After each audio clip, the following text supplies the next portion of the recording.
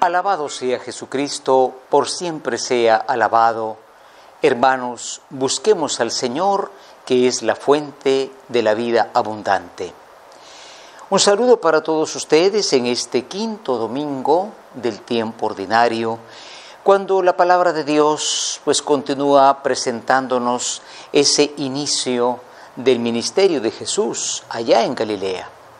Estamos leyendo este Evangelio de Marcos, un Evangelio breve, habría que leerlo. Ha dicho Papa Francisco, apaguemos la televisión y abramos la escritura. Y bueno, en ese Evangelio se cuenta precisamente que Jesús es aquel que se acerca y toca con su propia mano el dolor humano. Esto es sumamente hermoso y sumamente importante, ¿no? Porque estamos en una pandemia de dolor, de mucha duda, de incerteza, tendremos o no tendremos la vacuna, cómo será. Y bueno, mientras el mundo sufre y muere, la palabra de Dios nos proclama que hay uno que se acerca a nosotros y toca con su mano nuestro dolor para sanarlo. Naturalmente el dolor humano pues hoy está representado por este personaje llamado Job. Estamos leyendo hoy una parte del libro de Job. Job de la palabra Job quiere decir odiado.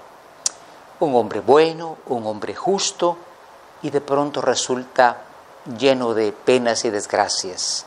Pierde todos sus bienes, mueren todos sus hijos y él adquiere una enfermedad tremenda, incurable, dice, de la coronilla hasta la planta de los pies. Y en medio de esto Job clama y dice, ¿por qué me pasa esto? Creo que es el sufrimiento que también podemos escuchar en este tiempo de pandemia, ¿no? ¿Por qué nos sucede esto? Personas buenas, excelentes han fallecido, se han enfermado toda clase de personas.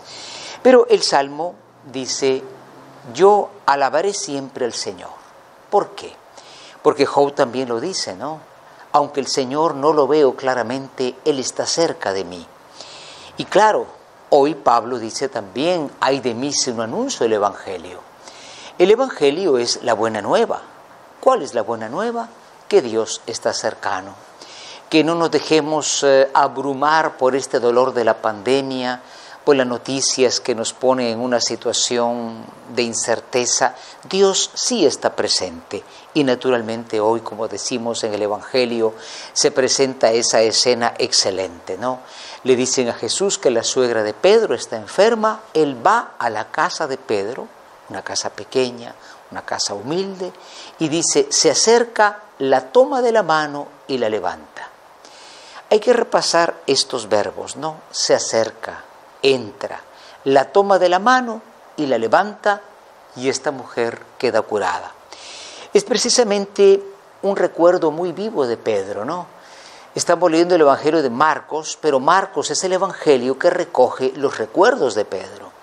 Y de pronto toda la ciudad viene hacia la casita de Pedro, porque han descubierto que hay un Dios que no está lejano, sino es capaz de acercarse y tocar con sus manos el dolor del que sufre. Sintámonos alentados nosotros, como digo, en este tiempo en que nos parece que no hay respuestas claras, todo es una duda, eh, sigue muriendo muchísima gente en países que tienen muchos medios económicos.